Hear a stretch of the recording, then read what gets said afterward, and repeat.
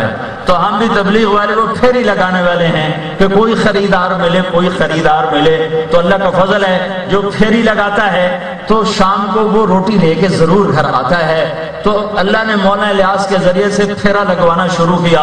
اللہ نے آج مجمع اکٹھے کر دیے، کبھی سوچا بھی نہ تھا۔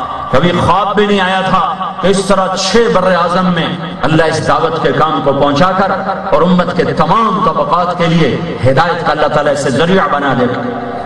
تو ہم نے فلمی اداکاروں میں کام کیا۔ ان کا دن رات ہوتا ہے، رات دن ہوتا ہے۔ دن میں سوتے ہیں، رات کو جاگتا میں رات کو جاگنا پڑتا تھا، فجر کی اذان تک۔ تو ایک رات ہم رنگیلے کو لے کر آئے۔ اس مسجد کے جو امام صاحب تھے نا، وہ تبلیغ والوں سے ناراض تھے۔ انسان جو ہوئے ہو ہی جاتا ہے، اس میں کیا ہے؟ تو مجھے ساتھیوں نے کہا، میں نے کہا اچھا،, اچھا تو میں ان کے دروازے پر گیا۔ میں نے کہا، حضرت، آج رنگیلا آ رہا ہے۔ صرف آپ کو بتانا تھا۔ اچھا وہ آئے تو مجھے بھی بتانا تھا۔ میں نے کہا، وہ تو آپ تو سو رہے ہوں وہ تو آئے گا کوئی دو بجے۔ کہ نہیں، مجھے آ کے اٹھا دینا، میں ضرور آؤں گا۔ تو رات وہ آیا دو بجے تو میں نے جا کے اٹھایا۔ وہ مولوی صاحب بھی تشریف لے آئے۔ وہ ان کی ساری رنجش ہی ختم ہو گئی۔ کہا، بھائی، بڑا کام ہے۔ کن کن لوگوں کو کھینچ کے تم لا رہے ہو۔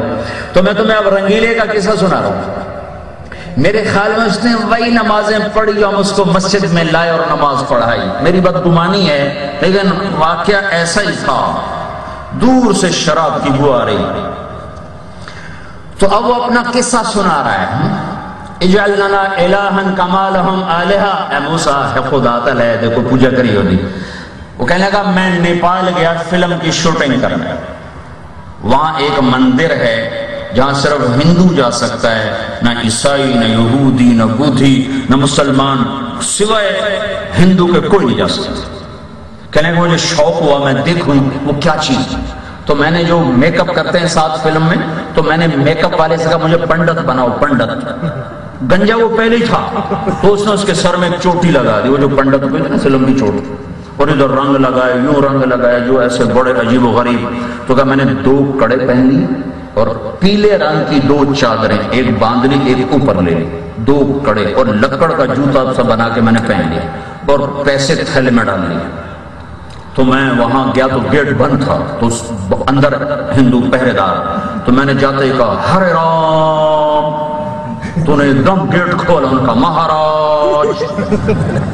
اب اداکاری تو اس کا اپنا فن تھا۔ اس نے ایسے کرتب دکھائے، انہوں نے کہا تو کوئی بڑی بلا آ گئی۔ ہاں۔ وہ کہنے کہ وہ دائیں بائیں تو میں نے ایسے پیسے پھینکنے شروع کیے ایسے پیسے اور وہ پیسے بھی چنے اور مہاراج مہاراج مہاراج۔ کہنے کہ میں نے بڑی چسائی کہنے کہ تھوڑی دور گیا تو میرا رنگ اڑ گیا اور کلیجہ اچھل کے منہ۔ کہ کیا دیکھا؟ آگے بہت بڑی گائے خالص سونے کی بنی ہوئی، پورے سائز جو جا رہا وہاں سجدہ کر رہا میں نے کہا، مر گیا تھا۔ کم وقت تو آیا کیا ہوں میں ہوں میں سجدہ نہ کرا تھا، میری جان جاندی تے سجدہ کرا تھا، میرا ایمان جاندہ ہے۔ رنگیلا کہہ رہا ہے، ایک تھکا ہوا، چودویں، پندرہویں صدی کا مسلمان ہے۔ کوئی مسجد کا نہیں۔ جب وہ بول رہا تھا شراب کی بو آ رہی تھی کہنے لگا میرے جی میں آیا اب اگر میں سجدہ کروں تو میرا ایمان گیا اور نہ کروں تو میری جان گئی میں اپنے آپ کو کوسنے لگا کم وقت تو آیا ہی کیوں تھا یہاں پھر میں نے کہا، جان بچانا تو فرض ہے۔ تو میں بڑے اطمینان سے چلتا گیا چلتا گیا چلتا گیا۔ جب میں قریب آیا، میں کہا، یا اللہ، تو گوار ہے میں صرف تجھے سجدہ کر رہا ہوں، میں اس کم وقت کو نہیں کر رہا۔ اللہ اکبر۔ منہ طرف خانے کعبے دے ہم کہتے ہیں، منہ طرف خانے کا ان کا منہ طرف گائے دے سجدہ، اللہ دی ذات نو۔ اللہ اکبر۔ یہ اس امت کا ایک تھکا ہوا مسلمان ہے۔ ہوجتباکم تم میرے چنے ہو۔ سنو اس امت کو چار بڑے اعزاز ملے ہیں قرآن میں۔ کنتم خیر امت تمہارے جیسی کوئی امت نہیں۔ وَكَذَلِكَ جَعَلْنَاكُمْ أُمَّةً وَسَطًا، تم امت وسط ہو۔ لِتَكُونُوا شُهَدَا تم شہداء میرے گواہ ہو۔ ہوج تباکم تم میرے چنے ہوئے ہو۔ یہ چار پھول ہیں۔ میں مثال دیا کرتا ہوں۔ چار پھول والا فل جنرل ہوتا ہے، فل جنرل۔ تو اس امت کو اللہ نے فل جرنیل بنایا ہے۔ چار پھول لگائے ہیں۔ خیر امہ وسطا شہدا مجتبا اس کا تھکا ہوا مسلمان ایسا ایمان رکھتا ہے۔ کہتا ہے، میں گائے کو نہیں سجدہ کر رہا، میں اللہ کو سجدہ کر رہا ہوں۔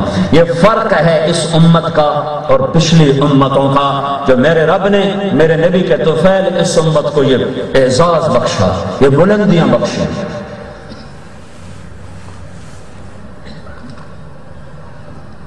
ایک رات اما عائشہ باہر لیٹی ہوئی تھی ہمارے نبی گرمیوں میں باہر سوتے تھے، سردیوں میں اندر سوتے تھے۔ شب جمعہ میں بستر باہر بچھاتے تھے جب گرمی آتی جب موسم بدلتا تھا۔ اور شب جمعہ میں بستر اندر لے جاتے تھے جب موسم بدلتا تھا۔ تو حضرت عائشہ نے کہا، یا رسول اللہ، کوئی ایسا شخص ہے جس کی نیکیاں ستاروں کے برابر ہوں؟ تو آپ نے کہا ہاں عمر عمر۔ تو اما عائشہ کو چپ لگ گئے۔ ان کے جی میں تھا میرے ابا ہوتے تو کہا، عمر۔ تو جب حضرت عائشہ کو چپ دیکھا، تو کہا، عائشہ، ابو بکر کی ایک رات عمر کی ساری نیکیوں پہ بھاری ہے۔ للئی للیلت ابی بکر خیر من حسنات عمر۔ عمر کی ساری زندگیوں پر ساری زندگی کی نیکیوں پر، وہ غار سور والی پہلی رات بھاری ہے۔ حضرت عمر کہا کرتے تھے، ابو بکر ایک رات دے دے، ایک دن دے دے اور ساری زندگی لے لے۔ غار سور کی پہلی رات دے دے اور وفات النبی کا پہلا دن دے دے، وہ سب کچھ لے۔ دے میرا سب کچھ لے۔ تو اللہ تعالیٰ نے آپ کے گرد ایک ایسا مجموعہ تیار کیا جنہوں نے دین کو اپنی جان سے زیادہ عزیز رکھا۔ اینقص الدین و انا حی اللہ کے نبی کا انتقال ہوا انتقال ہوتی ہی ارتداد اور فتنے اٹھے، اور ہر دور میں ایسا ہوا. لیکن اللہ تعالیٰ بعد میں نبی بھیجتا تھا، جو سارے فساد کو مٹاتا تھا. اب نبی کی آمد بند تھی. اب یہ آخری نبی آ رہے ہیں. ان کے بعد اب کوئی نبی نہیں ہے. تو بہت بڑا فتنہ اٹھا. بہت بڑا فتنہ اٹھا. ادھر ارتداد ادھر آپس میں انصار الگ، مہاجرین الگ۔ اللہ تعالیٰ نے ابو بکر کی ہستی کو قبول فرمایا، انہیں انصار اور مہاجرین کو ایک جھنڈے تلے اور ایک ایک سائے تلے جمع کیا۔ اور پھر حضرت اسامہ رضی اللہ تعالیٰ کے لشکر کو اللہ کے نبی نے وفات سے پہلے روانہ کیا تھا۔ انفدو جیش اسامہ جب آپ دنیا سے چلے گئے تو ابو بکر رضی اللہ نے کہا، جیش اسامہ کو روانہ کرو۔ تو عمر رضی اللہ عنہ اور سارے صحابہ کہنے گئے حالات بدل گئے، عرب مرتد ہو چکا ہے سارا اور قوت کمزور ہو جائے گی اگر مرکز خالی ہوا۔ کہا، مت بھیجو مت بھیجو یہ لشکر۔ تو ابو بکر رضی اللہ تعالی عنہ اٹھے۔ اور ابو عمر رضی اللہ کی یوں داڑھی زور سے پکڑی اور یوں جھنجھوڑا کتلب تو نصرتک وجیتنی بالخبران، خوار فی الاسلام، وجبار فی الجاہلیہ۔ عمر، تو بھی میرا ساتھ چھوڑ رہا ہے۔ میں تو تیری مدد کا محتاج تھا۔ تو بھی میرا ساتھ چھوڑنے کی بات کرتا ہے۔ اللہ کی قسم، اگر بھیڑیے مدینے میں آ جائیں اور میری لاش، میرے جسم کی بوٹیاں نوچ لیں پھر بھی میں اللہ کے نبی کے فرمان کو پورا کر کے چھوڑوں گا۔ جس جھنڈے کو میرے نبی نے کھولا ہے، ابو بکر کی مجال ہے کہ اسے لپیٹ دے۔ ایو سماء تدلنی و ایو ارض تقلنی۔ آئے ہائے، عجب حال تھا۔ میرے میری اماں عائشہ نے کہا، اس وقت ہمارا حال ایسا تھا جسے سخت سردی میں بھیڑ کا بچہ ٹھٹرا ہوا ہوتا ہے اور اسے گرمی نہیں مل رہی ہوتی۔ سارے مسلمانوں کا یہ حال تھا۔